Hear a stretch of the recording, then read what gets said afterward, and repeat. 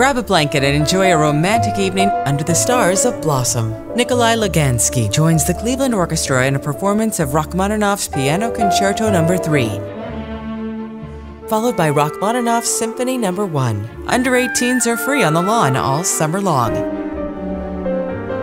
Romantic Rachmaninoff, July 15th at Blossom. Lawn tickets start at just $25. ClevelandOrchestra.com.